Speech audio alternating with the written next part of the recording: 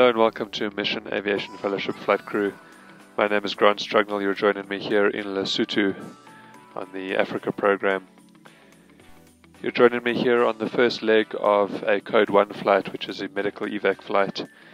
I'm flying from our home base of Maseru to a village called Semenanyane to pick up a patient and to transfer her to her district hospital in the town of Thaba-Tseka.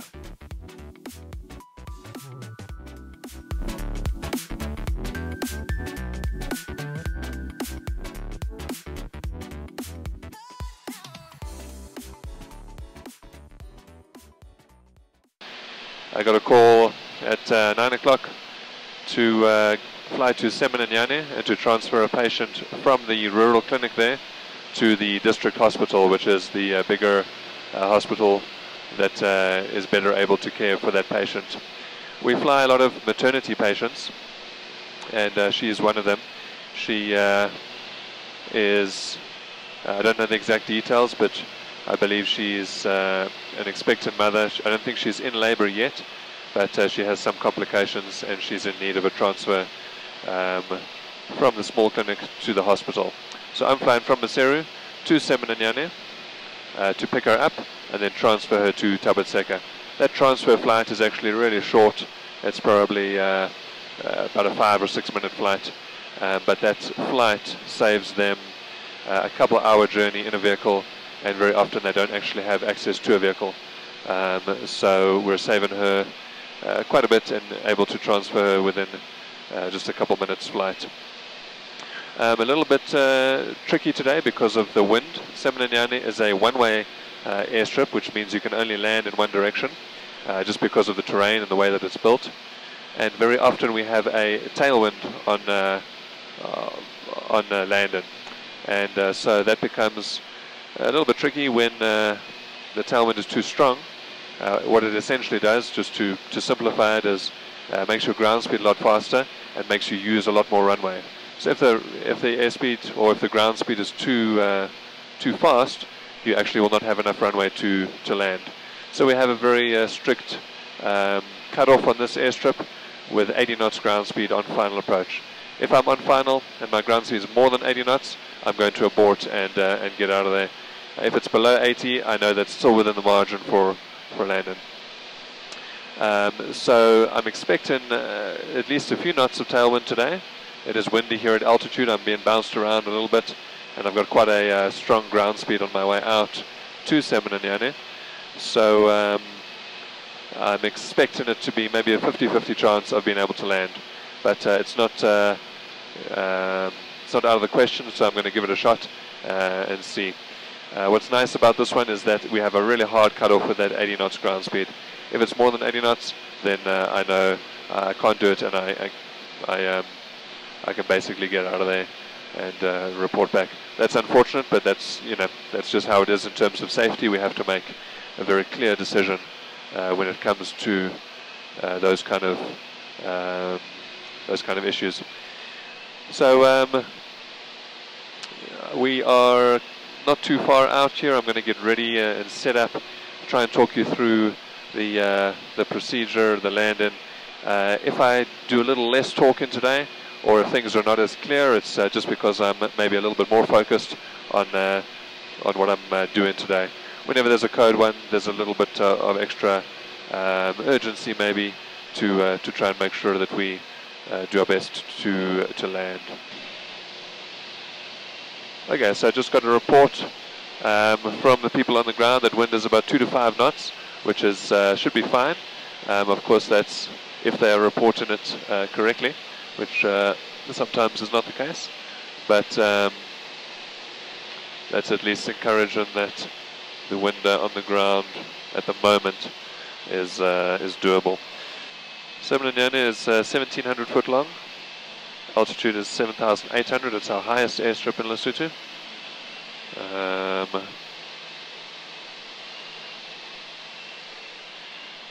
three and a half percent upslope, and uh, it's dirt with no obstructions. And the abort is on short final crossing the ridge. I do need my ground speed to be 80 knots or less. So uh, very specific uh, cutoff for this. I'm descending now to uh, 8,800 foot. I need to just make that a little wider. Alright, so I can see the airstrip uh, below me. So because we can only land one way, uh, we don't have a choice to land into the wind, and so usually the wind here is a prevailing tailwind. So that makes it very difficult, um, or just a little dangerous. It, uh, you know, it speeds up your ground speed for the land and roll, and uh, adds some, uh, uh, just kind of eats into your runway. So that's why if your ground speed is too fast, um, essentially your runway is not long enough uh, to land on. And so uh, 80 knots is the ground speed I'm allowed. I approach at 60 knots, which is, uh, you know, uh, once you do all the corrections for true airspeed and calibrated airspeed and all of those things, it probably comes out to about a 7, 8, uh, 8 knot tailwind, somewhere around there is what I can accept. But I'll use the ground speed on the GPS to determine that coming down 9,500 foot, getting myself uh, start to start to get myself set up here. I can see the runway. I'm feeling some bumps and some uh, wind coming down this uh, mountain on my left, but um, nothing too bad. I can start to see the windsock. There's definitely a tailwind. Um, getting myself set up here with the mixture. Aux pump uh, is off and selector is on the right. Alright, definitely a tailwind. Um, I'm not sure that this is going to be landable today, but I'm going to give it a shot. I can go pretty uh, far on final approach safely, so I, I do get a good uh, good crack at it. There's some bumps, and uh, uh yeah, it's not completely a tailwind. It's more of a tail crosswind, so it's it's possible that I'll be able to get in. I'm going to give my satellite call, set up with the flaps, and um, having a look at the runway now right below me here. Yeah, the wind's not too bad. It's probably five knots or less on the ground, but that does not mean that on final approach it is uh, uh, doing the same thing. Final approach is often more than uh, than that. Yes, lasso is briefed. My abort is crossing the ridge on final. If ground speed is more than 80 knots, or if something's on the runway, I will abort. Alright, so going to set up here in the pattern. Okay.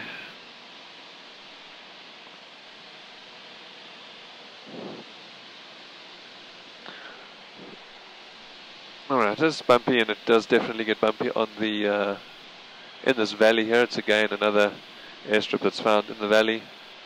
I'm uh, turning now. I want to get too low here. 70 knots is what I want on uh, base leg. Uh, flaps, power uh, brakes are checked. Alright, definitely bumpy here. Wind coming down these mountains here is uh, pretty rough.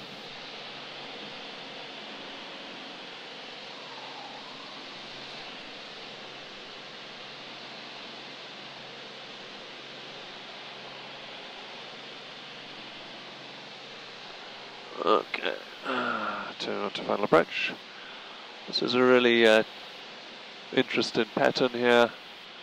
Just to position exactly for final approach and then uh, get set up on final approach as early as I can and see what the ground speed does. Gives me some time to uh, figure it out and get my airspeed right. Flaps, cowl flaps checked, green light for landing. And got 73 knots, that's good for now. Let's see what it does a little later on approach. Okay, approach is stable. I'm uh, set for landing 74 knots on the ground speed, that's acceptable. 74 still acceptable, it's bumpy but it's okay. 76, 75, and committed. So I am now committed to land whatever the wind does from here.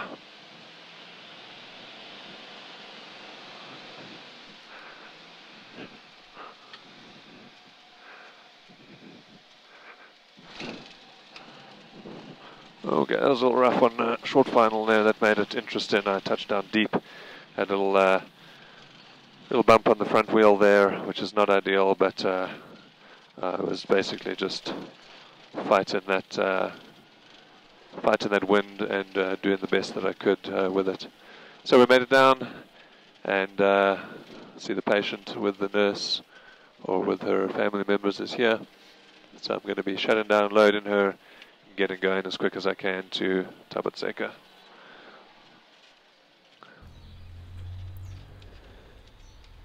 So uh, as I shut down, I'm just making sure I run through all my post-flight checks and uh, making sure the aircraft is secured before I get out and help the uh, passenger. Semenanyane is located uh, probably about a five or six minute walk from the clinic.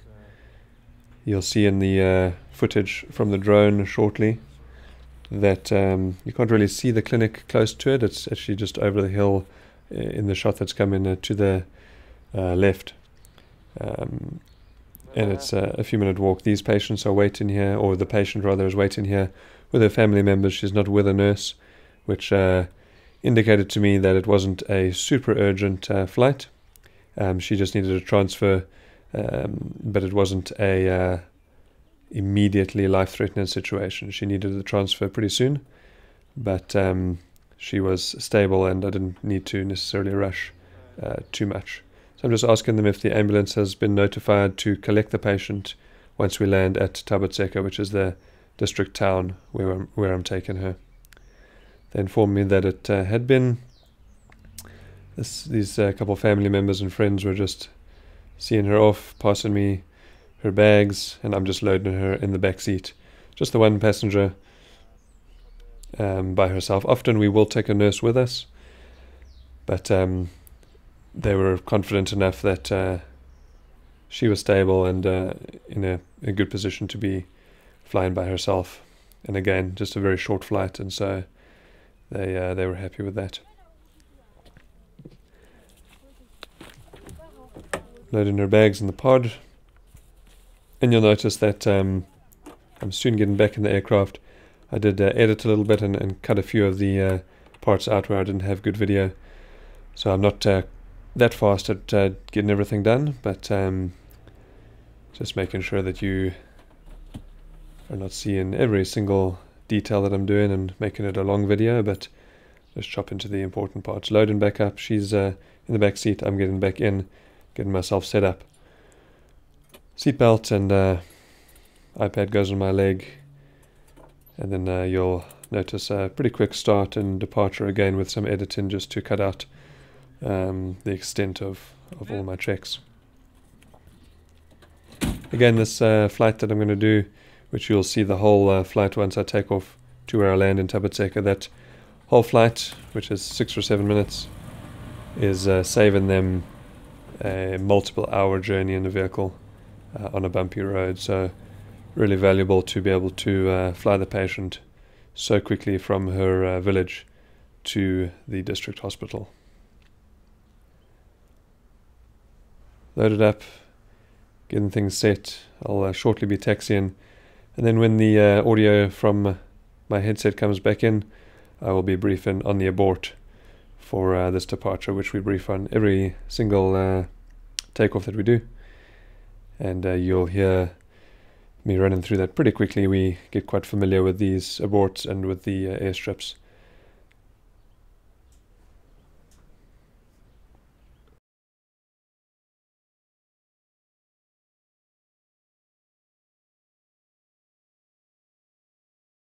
Okay, abort point will be the uh, stones on the right. I'll abort if I don't get a good power check. Or a speed check by the uh, start of the stones. Airborne past the abort point with an engine failure, 6 Gs. Gliding at 70, grass will be a left-hand turn onto the uh, into the valley for the fields. Gas will go on, yellow pump, change tanks. Red pump it takes, continue with Gab, mayday, mayday, mayday, before landing. Guts pump off, selector off, flaps is required, master off before touchdown and get out.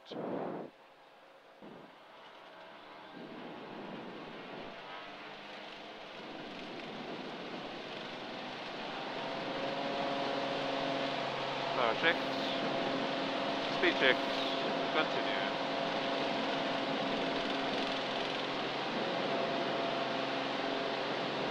Are up.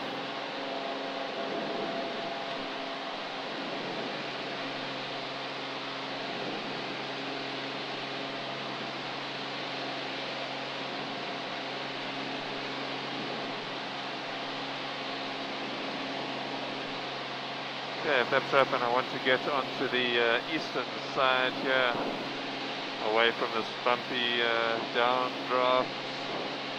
There's my field option straight ahead of me. Bring my power back.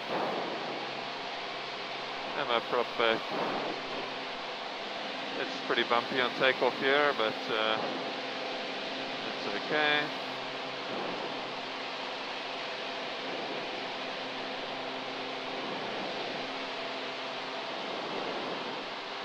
Left trap off, left trap and power set.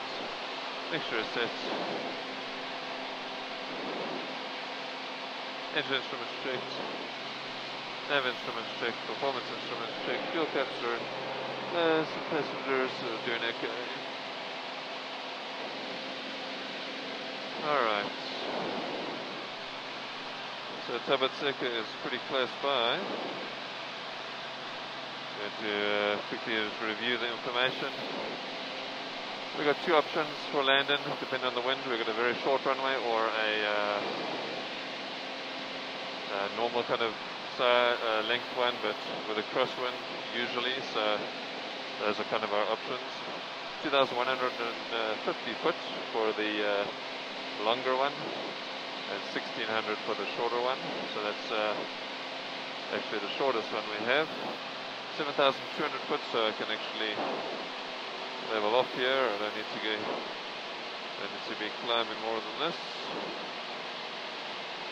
Myself set up here for the cruise, even though it's a three minute flight. Okay. Alright, so I can see Thaba-Tseka ahead of me there. It's uh, the town over there.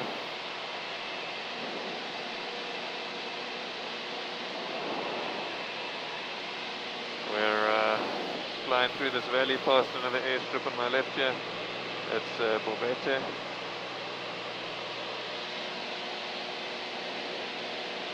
Okay, so my plan when I get to Thaba-Tseka is going to be to uh, fly overhead, check the wind, then decide which runway. We've got runways kind of doing this, uh, making an L shape, so should be able to get an option that's into the wind, uh, which again, usually the option into the wind is uh, pretty short, but uh, yeah, so it's, it's fairly likely that I'll take the shorter option today so that I'm landing into the wind. If I do take that runway, it is uh, down and braking by the second marker will be my abort. And uh, it is a, a, stop critical, so uh, I can still go around after touchdown. To traffic, Charlie Mike. Charlie is uh, from 7 to Thaba-Tseka. We're coming up Thaba-Tseka now for landing. I start to slow myself down a little. Overhead, decide what runway, set up for landing, and uh, hopefully the ambulance is there. My patient is doing okay back there. It's all bumpy, but uh, definitely manageable.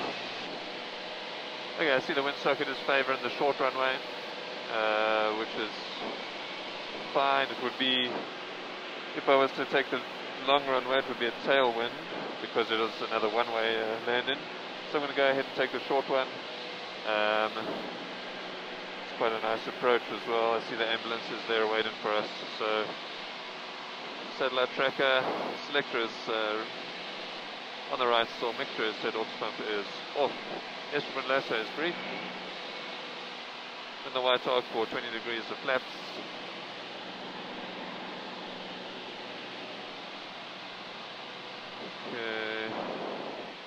My abort is down and braking by the second marker. If I'm not down and braking by the second marker, I will abort.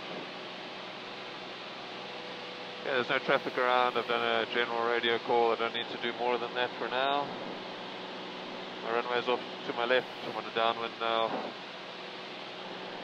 We expect some uh, downdrafts on the final approach. There's another kind of cliff faced approach here, so I'm expecting a bit of work on final. And turn onto my base leg over here, start on the descent. Cowl flaps are closed. select my uh, base flaps, 30 degrees, brakes and uh, prop is checked.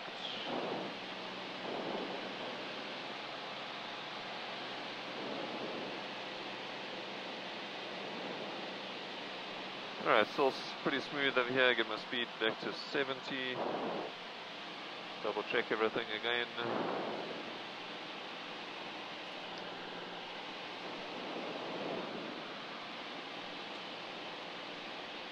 Alright, 70 knots.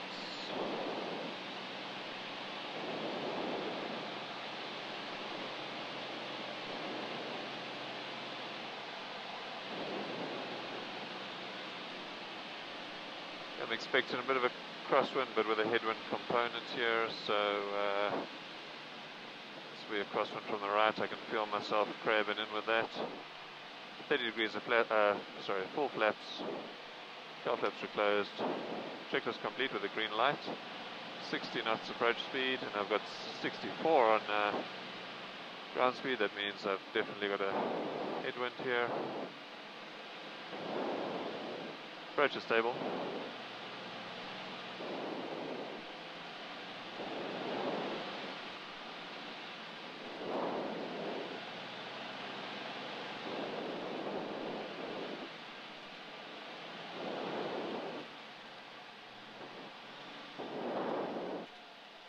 There's the first marker. Second marker coming up. Good break in. And we're on the ground safely.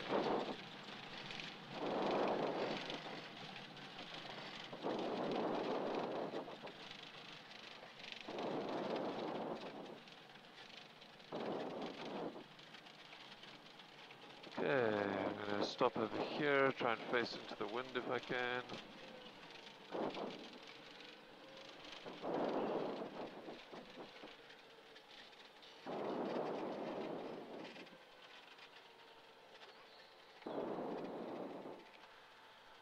Okay, I've done that. Lights are off.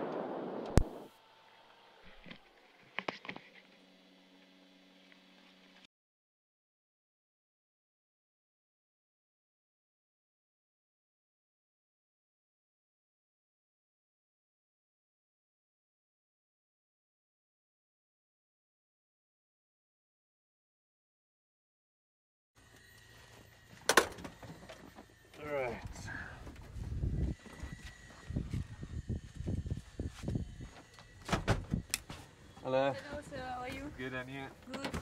Good, Ami. Ulamo?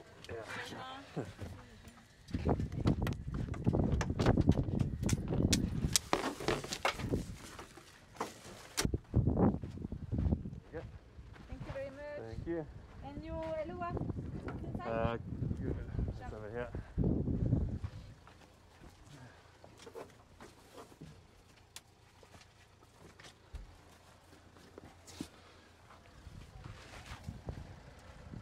Hadi. Hadi. Güzel. Fajn, hadi. Thank you, uh, thank you. Alright. Ciao. Bye bye. Have a nice day. Thank you. Bye bye.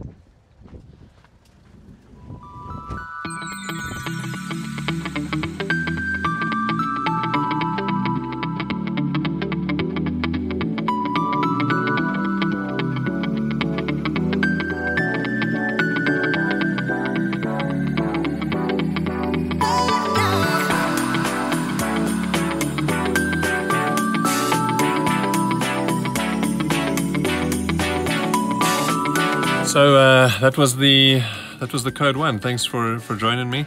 Um, I hope that uh, I was able to piece enough together uh, through editing to uh, be able to show you what that flight was like. Um, and as you could probably see, I was a little bit more uh, busy today, dealing with some of the wind and some of the uh, quick decisions, just in terms of um, you know the, the added pressure of having the the code one patient on board. But um, hopefully that all came out well and that you enjoyed the uh, video.